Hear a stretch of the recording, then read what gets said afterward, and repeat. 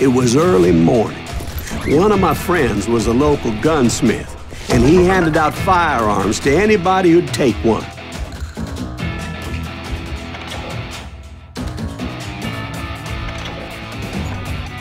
You see, the Daltons got it in their heads to rob two banks at the same time.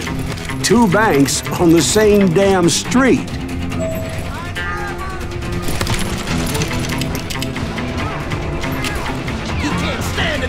The story was Bob Dalton's girl was always riding him about how he had no ambition.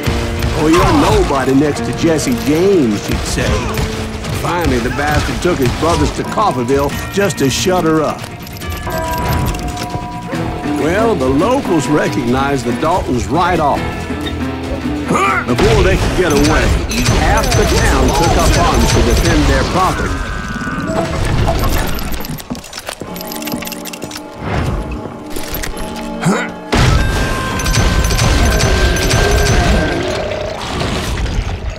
Brothers paid dearly for their stupidity, but everybody knows they had it coming. There's more to it than that. I read all about that day, so I know for a fact that it went down very differently. First of all, it was high noon. A posse of U.S. deputy marshals were on the rooftop across the street. Get ready, boys. They're gonna make a move. The lawmen had been tracking the Daltons for months. Now they finally had them dead to rights. Among them was a bounty hunter feared by many a lawbreaker. The marshals tried to get the Daltons to surrender. They'll give up eventually. We just gotta wait the son of a bitches out. This bounty hunter knew that the brothers were far too proud to ever lay down their guns.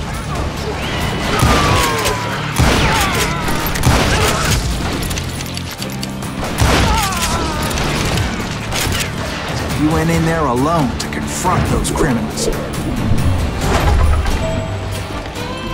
One of the marshals shouted, Where are you going?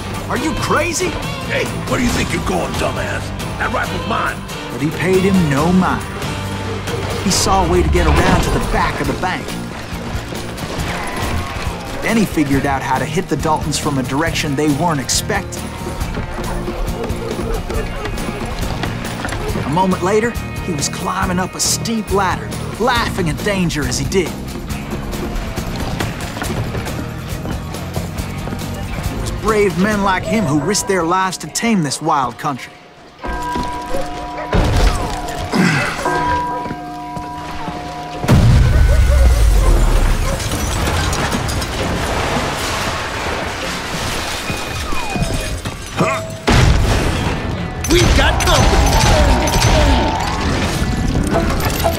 Heroic men like him, who did what other men couldn't or wouldn't to make this country free. Like Jim Bowie and Davy Crockett, who died defending the Alamo.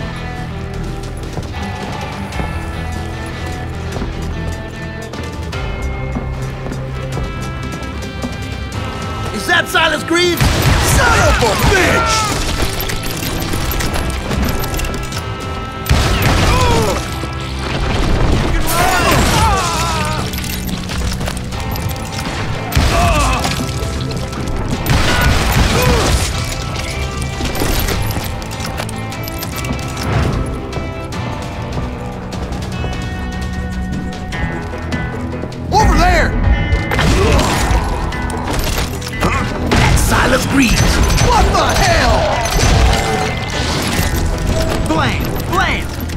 Came away victorious, taking down those thieving Daltons.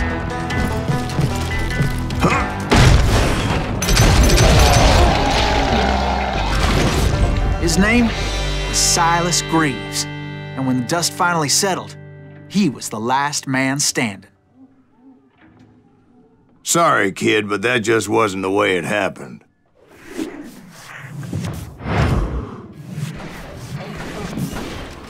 It was early evening, not high noon. The Daltons blew up a safe, and were all set to hightail it out of there. I was late to the party, and Coffeyville was already up in arms. Those pathetic deputies surrounding the bank were dropping like flies.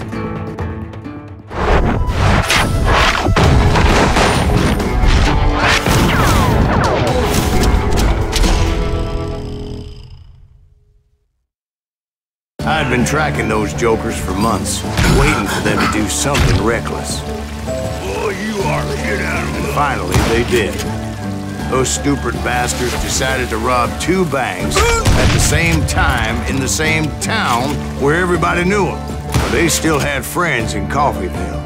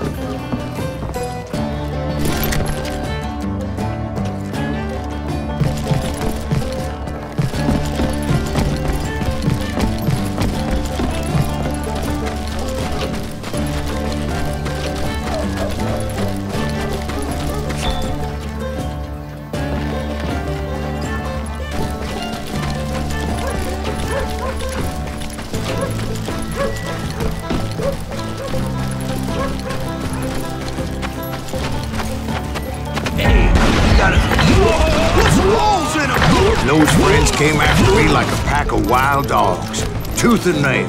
They were coming at me from all directions. I caught sight of the Daltons running with the money and didn't want to lose them. Problem was, they knew the town better than I did. And to top it off, I found myself in the middle of another shootout entirely. Get out of here. Did the Daltons hole up in somebody's house? No, it was the uh, Smiths, I believe. They were cousins of the Daltons. They were shooting at the Browns, who were shooting at the Daltons. Which wasn't any surprise, because those two families have been feuding forever.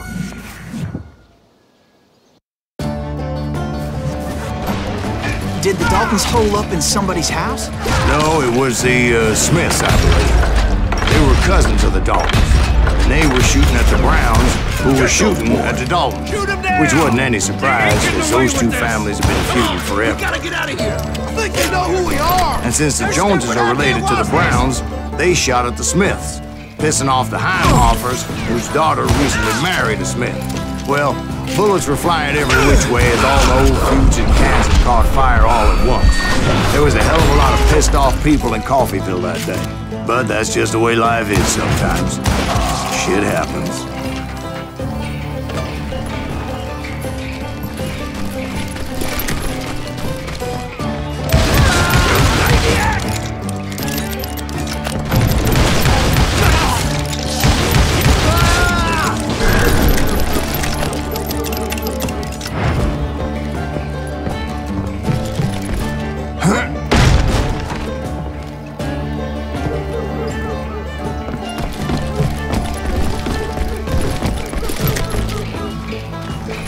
Dalton boys knew I would never give up.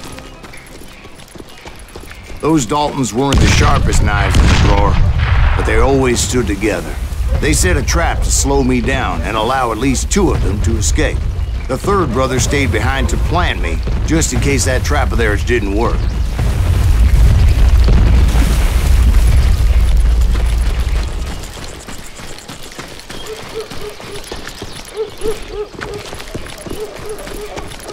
Was Emmett, the youngest, and he decided to stand his ground and face me down. I ain't afraid of you, Silas Greaves. This is where it ends for you. He was determined to protect his brothers. And I understood how he felt. Taking me on all by his lonesome wasn't exactly a recipe for a long life.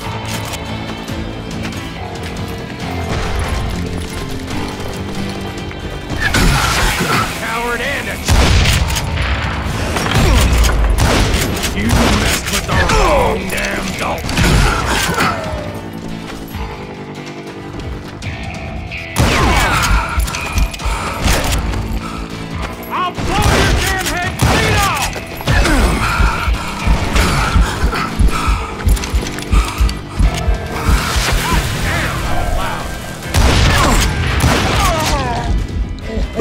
Dalton survived the robbery in Coffeyville. He's the only Dalton who did. They say he was shot 23 times. Well, Dwight, who do you think put all those damn holes in him?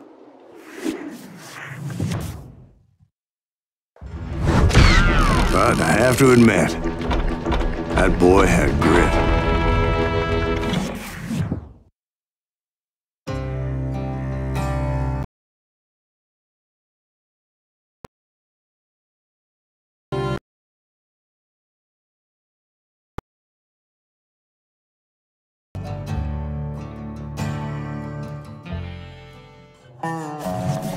Will you get those suckers? It took me a couple of days to track the Daltons down. They can't get away with this! And in that time, a whole posse of local vigilantes offered to lend a hand. We'll track them to the ends of the earth. They seemed as determined as me to find those outlaws. But as we headed into those swamps, it was like I had my own private army. There was no way those boys were getting away this time.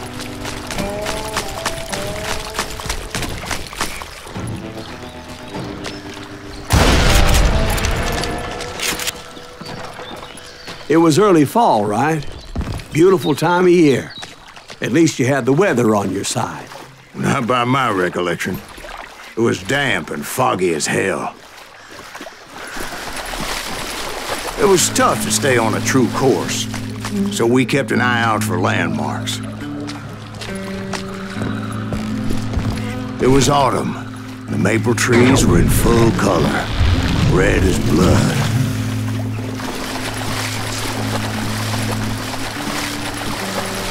Rains that year were torrential, so the whole area was flooded. The vigilantes had spread out wide, and pretty soon I couldn't see anybody. Bury them in the... Put 'em where they stand! Except for some some bitches ahead of me wanted to do me harm. So I had to face them alone. I wondered why my compatriots didn't come running when they heard the shots. So did you find the Daltons?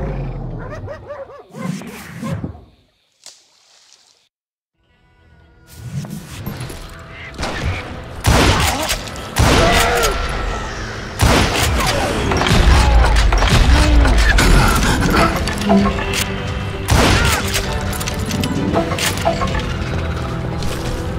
boys had established quite a reputation by that time, so they attracted all manner of riffraff to their cause.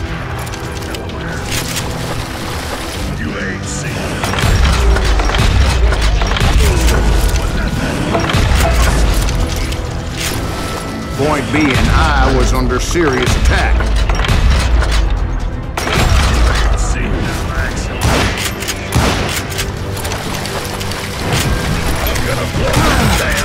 My reinforcements was nowhere to be seen.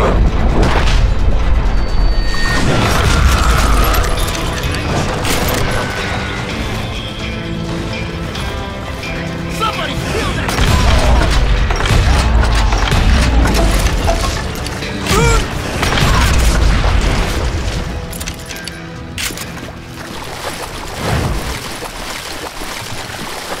But luckily, a barn materialized as if right before my eyes. I scrambled up top to get a better view, but just ended up falling inside. So, how did you get out?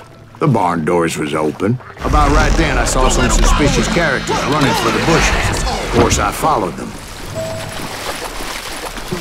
But that goddamn swamp was like a goddamn maze, and pretty soon I had no goddamn idea where I was. Steve? So I just started walking, and pretty soon, I... Oh, Steve? Steve? Uh, huh? Oh, uh, no, no, no, I'm listening. Indians surrounded me from all sides.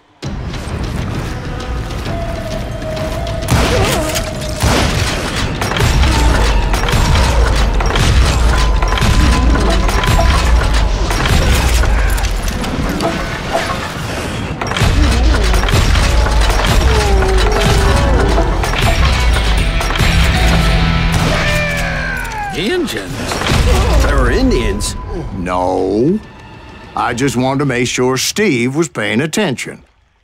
Now, where was I? You were following the Daltons through a swamp?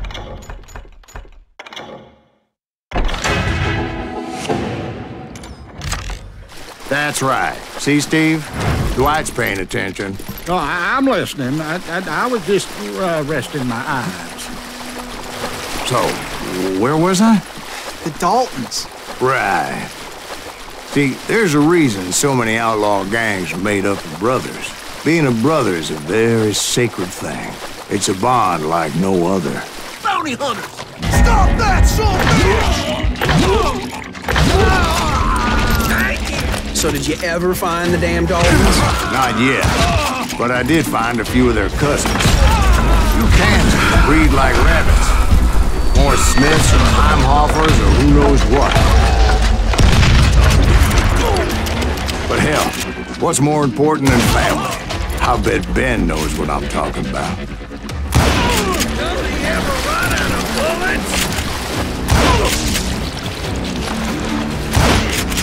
Does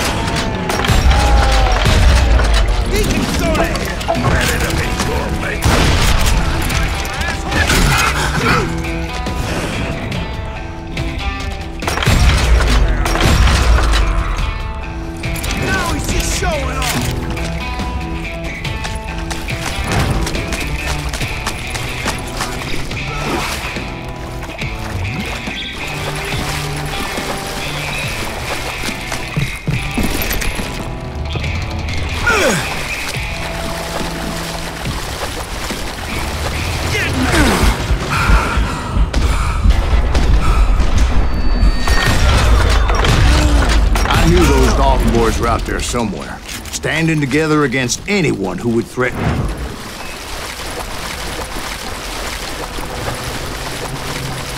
And that's when I saw it. A goddamn steamboat. A steamboat in a swamp? Yeah, Steve, but this wasn't much more than a wreck, really. But how'd a damn steamboat end up in the swamps? Guess it floated off during the flood of 89. Now, was it a stern wheeler or, or a side wheeler? What, what? Does that really make a difference, Steve? It was a steamboat with a goddamn army on board. It was in that a fusillade of bullets come raining down from on high, and those vigilantes who accompanied me weren't anywhere to be found. But among those men that were shooting at me, I thought I saw some familiar faces.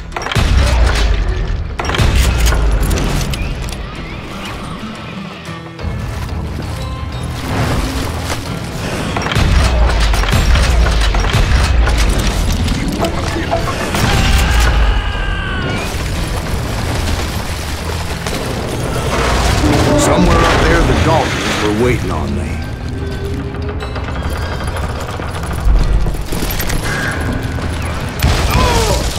Rule the day.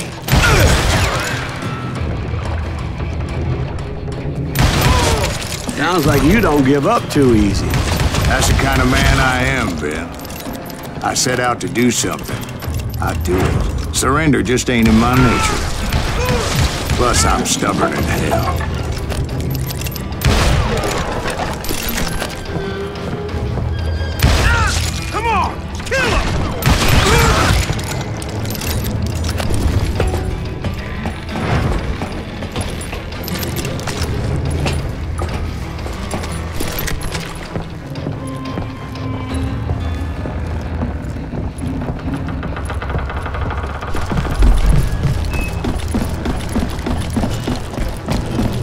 Right about then, much to my relief, the vigilantes finally arrived. Their leader motioned at a cabin in the middle of the top deck, pointing me directly at the Daltons. I finally had them, after months of dogged pursuit. Huh? But it turned out that they had me. Take him out!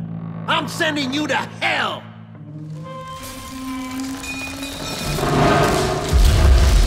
Daltons had played me so like a tough after fiddle. all, is it? Apparently, the vigilantes were on their damn payroll.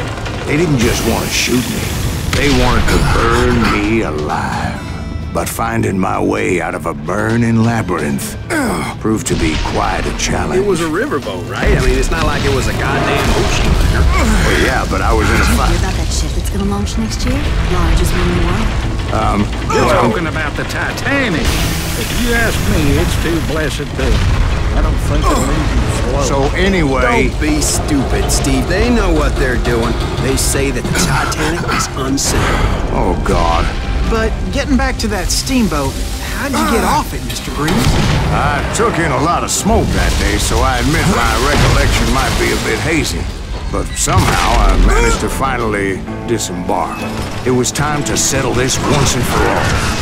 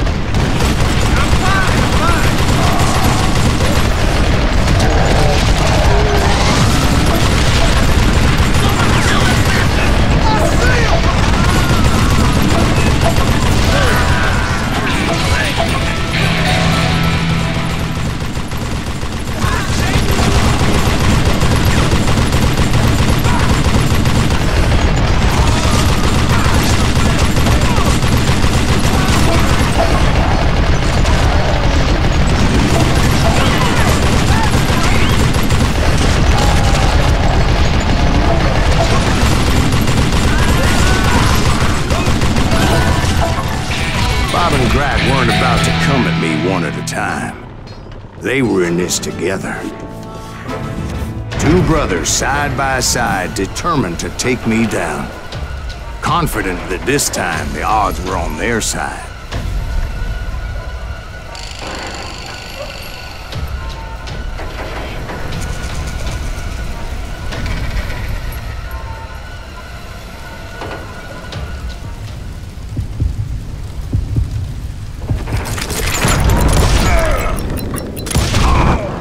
Got it wrong. A sad end for those two. If they'd only known that Emmett was still alive despite his wounds. Paroled 14 years later, he moved to California and sold real estate and lived off the legend of that fateful day. And the tragic death of his two brothers.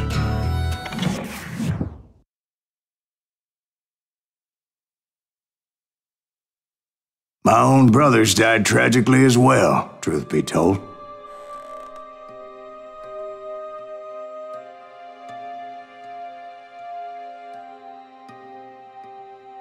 It was 1868, and me and my older brothers were pulling a tidy profit running cattle into Juarez, Mexico. One night after my brothers retired for the evening, I found a little poker game in a cantina with a couple of cowboys and I just couldn't lose. I even won an old Spanish coin that had to be a hundred years old. Well, I was mighty pleased with myself the next morning as my brothers and I rode for Texas. But before we crossed the border, those cowboys caught up with us. It was Johnny Ringo, Roscoe Bob Bryant, and another asshole named Jim. They wanted their money back and everything else we had including our lives, as those boys didn't want us coming for them later. Bob put that old Spanish coin in my mouth and said, I won't have it said that I left you with nothing, boy. Well, those horses bolted, and there we hung as those bastards rode away. The branch finally snapped under the weight of the three of us, but being my older brothers were bigger and heavier, they were already dead. And right then, I swore to myself that I would avenge them. Ringo, you know about. But Bob eluded me until I heard he was riding with the Wild Bunch.